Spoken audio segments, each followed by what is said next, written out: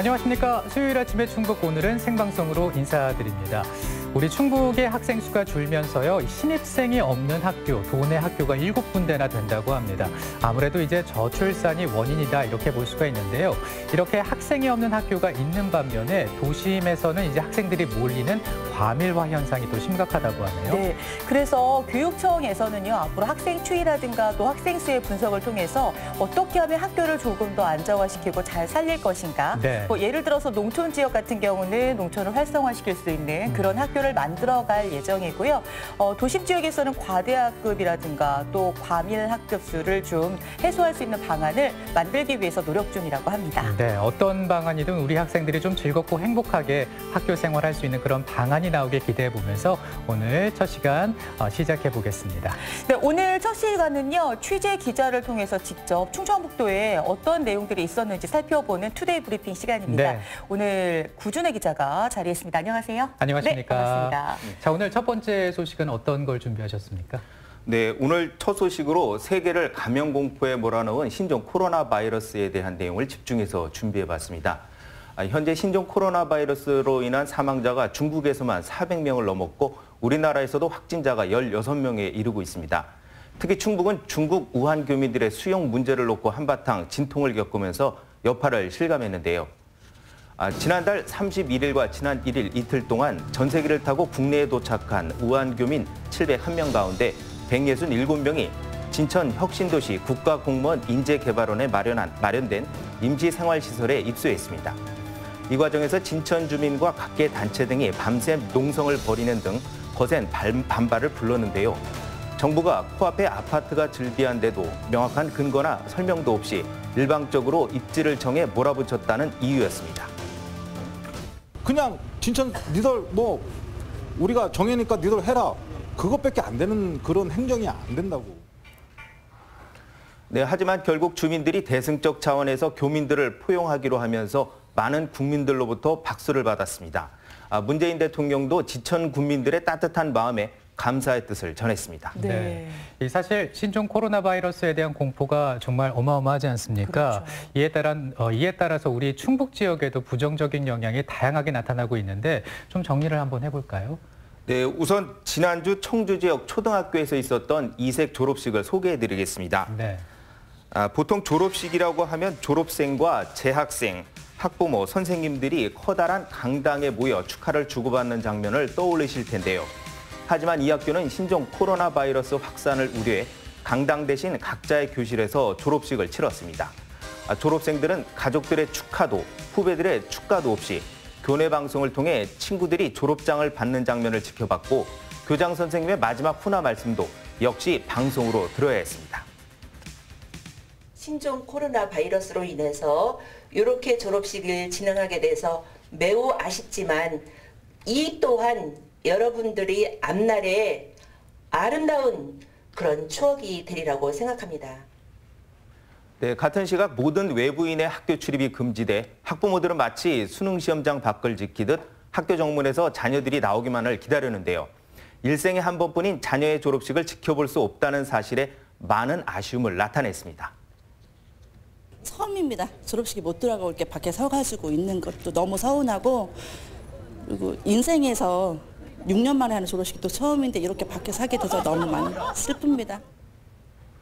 네, 충북교육청은 교육감 명의 긴급 소환문을 각급 학교에 보내 현장 학습이나 수학 여행 등 단체 행사를 자제해달라고 요청한 상태입니다. 네, 이 충청북도에서는 해마다 중국인 유학생 페스티벌이 열릴 정도로 중국인 유학생이 많은 그 도가 아니겠습니까? 그래서 중국인 유학생들이 많은 대학에서도 지금 긴장이 뭐 굉장할 것 같네요. 이쪽, 이쪽은 대책이 어떻습니까?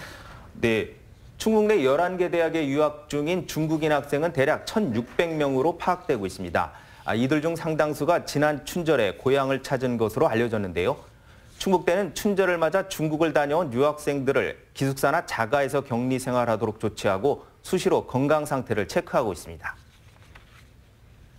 선생님 음식 그 빵하고 어, 재소 어, 싸서 어, 보내요. 그리고 밖에 어, 나가 안 돼요.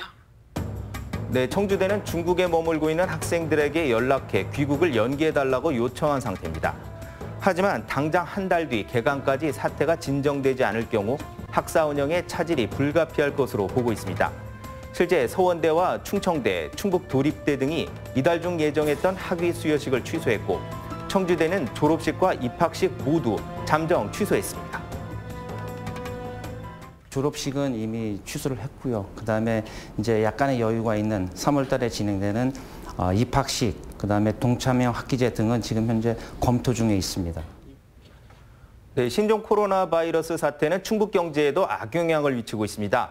아, 당장 청주공항과 중국을 잇는 4개 노선 가운데 옌지를 제외한 나머지 3개 노선이 10일부터 운항 중단에 들어갑니다.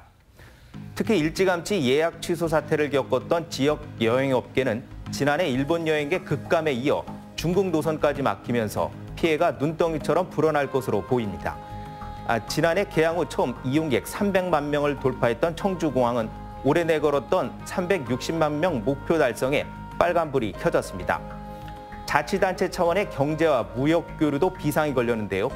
충청북도는 상반기 중국의 통합사절단을 파견하는 등 교류 확대를 추진해 왔지만 대부분 취소하거나 연기하는 것으로 방향을 틀었습니다. 지금까지 해왔던 그 수출은 계속 하되 새로운 시장을 개척하는 거 중국 시장에 새로운 시장을 개척하는 거는 당분간은 좀 저희가 보류를 해야 되지 않겠나 이렇게. 네, 지자체 차원에서 준비해온 행사도 줄줄이 취소 또는 연기되고 있는데요. 음성군과 괴산군, 증평군 등이 대보름 행사를 일제히 취소했습니다. 민간협회의 정기 모임과 회의 등도 잇따라 취소되거나 연기되고 있습니다. 도내 지자체장들도 답답하기는 마찬가지인데요. 청주시와 충주시, 옥천군 등은 시장 군수의 연두 지역 순방을 취소했습니다. 여러 사람들이 모이거나 외출 자체를 꺼리는 분위기여서 지역 상권마저 위축되고 있습니다. 그렇군요. 이말 그대로 일파만파가 아닌가 싶은데 이 신종 코로나 바이러스 공포가 이제 정치권에도 불똥이 튀었다는데 이건 또 어떤 내용입니까? 네, 4월 15일 실시되는 21대 국회의원 선거가 오늘로서 딱 70일 앞으로 다가왔습니다. 각 당의 예비 주자들이 예비 후보 등록을 마치고 지역구 유권자들을 상대로 표심 잡기에 여념이 없는데요. 신종 코로나 바이러스 사태 이후 생각지도 못한 어려움을 겪고 있다고 합니다. 아, 먼저 청주 서원구에 출사표를 던진 민주당 이장섭 예비 후보는 이달 초 계획했던 선거사무소 개소식을 취소했습니다. 또 혹시 모를 바이러스 전파를 막기 위해 악수를 자제하려 한다며 유권자들에게 오해가 없기를 바란다고 밝혔습니다. 예비 주자들, 주자들이 겪는 가장 큰 어려움은 유권자들을 만나기 어렵다는 것입니다. 신종 코로나 바이러스 공포로 각계 단체와 지역, 지역 행사가 취소되거나 대폭 축소돼 갈 곳이 없어졌습니다. 총선일은 시시각각 다가오는데 이름과 얼굴을 알릴 기회가 갈수록 사라지는 겁니다. 네.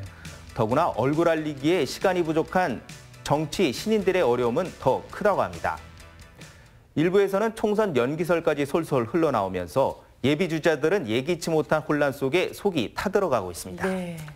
그럴 것 같네요. 네. 자, 다음 소식 넘어가 보겠습니다. 지난주에 조금 전에 뉴스 통해서도 보셨을 텐데요. 금강위협 환경청이 청주시 오창읍 후기리 소각장 신설을 조건부로 동의할 방침이 있다라는 소식이 알려지면서 논란이 컸습니다. 이 소식 자세하게 좀 정리해 주시기 바랍니다. 네, 금강교육 환경청은 지난달 30일 청주시 오창읍에 있는 변재일 국회의원 사무실을 찾아 후기리 소각장 신설 조건부 동의 방침을 전달했습니다. 소각장이 주거지와 5km 이상 떨어져 피해가 적을 것이란 전문가 의견을 이유로 들었습니다. 또 소각시설 증설 금지, 투명한 운영, 이윤 일부의 지역사회 환원을 동의 조건으로 내걸었다고 덧붙였습니다. ESG 청원은 1년 전 오창호 후기리 일원에 하루 282톤 규모의 소각시설과 500톤 규모의 슬러지 건조시설을 짓겠다며 환경 영향평가 본안을 금강청에 제출했습니다. 이에 금강청과 업체 간 일일 소각량을 165톤으로 줄이는 내용의 보완서와 재보완서를 주고받은 끝에 사실상 소각장 증설을 허용한 겁니다. 다시 한번 도달이 더 두드러가자는 심정으로 전문가 의견을 들었었고 또 그런 과정을 거쳐서 왜냐하면 저희가 민원 서류이기 때문에 더 갖고 있을 수가 없어서 네, 국회의원의 항의 방문, 청주시의 소각장 불허 방침에도 금강교육 환경청이 끝내 업체의 손을 들어주자 주민들은 이제 오창은 사람이 떠나는 도시로 전락할 거라며 크게 반발했습니다. 감사원 감사와 검찰 조사, 부기면에 대한 건강 영향평가 결과가 나온 뒤로 결정을 미루라는 주민들의 요구도 모두, 모두 허사가 됐습니다.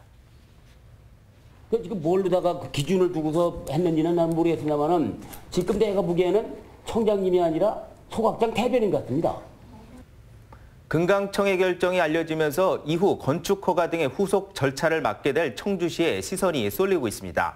한범덕 시장이 그간 소각장 신증서는 없다는 강경한 입장을 천명해 왔기 때문인데요. 청주시가 건축 허가와 도시계획 시설 결정 등 각종 인허가 과정에서 소각장 증설 저지에 나설 것으로 보입니다. 업체와의 행정소송도 불사한다는 방침을 세운 것으로 알려졌습니다.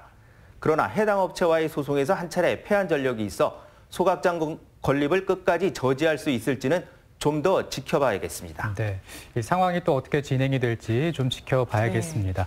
자, 이제 다음 소식 살펴볼 텐데요. 이번엔 좀 희망적인 소식을 전해드리겠습니다. 어, 실감 콘텐츠 산업의 거점이 될 VR, AR 제작 거점 센터가 문을 열었네요. 네, 그렇습니다. 네, 시청자 여러분은 2017년 전국에 불어닥쳤던 포켓몬고 열풍을 기억하시는지요? 아, 바로 AR로 불리는 증강현실을 기술, 증강현실 기술을 활용해 현실 공간을 배경으로 가상의 캐릭터를 포획하는 신개념, 게임이, 신개념 게임인데요.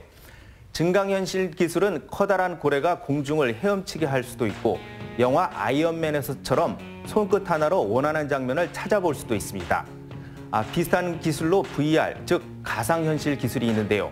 컴퓨터로 만든 가상 세계에서 실제와 같은 체험을 할 수 있도록 만든 최첨단 기술을 말합니다. 이 VR, AR 기술은 교육과 군사, 게임 등 다양한 분야에 속속 도입되고 있고 앞으로 활용도가 무궁무진합니다. 전문가들은 지난해 90억 달러였던 세계 VR, AR 시장이 2023년이면 1,210억 달러로 10억 달러로 13배 이상 성장할 것으로 내다보고 있습니다. 네. 원자력 발전소라든지 그런 곳에도 활용될 수 있고 자동차 공정 속에서도 굉장히 어려운 부분 같은 것들을 체험하지 못하는 부분을 가상으로 미리 한번 체험해보고 실험할 수 있다는 것이 이제 가장 큰 장점이고요. 네, 이런 가운데 네. 네, 이런 가운데 지난 30일 충북 VR AR 제작거점 센터가 청주시 오창읍 오창 벤처 프라자에서 문을 열었습니다. 국비와 도비 등 60억 원의 예산이 투입됐고 지하 1층, 지상 2층 규모의 센터에는 test bed zone, VR showroom, 모션 캡처 스튜디오 등의 시설에 40여 가지 첨단 장비를 갖췄습니다. 앞으로 일반인을 위- 일반인을 대상으로 한 교육과 전문가 양성, 기업체 콘텐츠 제작과 상용화를 지원할 계획입니다. 충북에는 현재 100곳이 넘는 VR, AR 관련 기업체가 활동 중입니다. 네. 특화 산업이 건실하게 성장을 해왔습니다. 이를 5G 또는 AI를 기반으로 하는 여러 콘텐츠들을 모아서 새로운 성장 동력 산업으로 만들어 나가는 그 거점이 되겠습니다.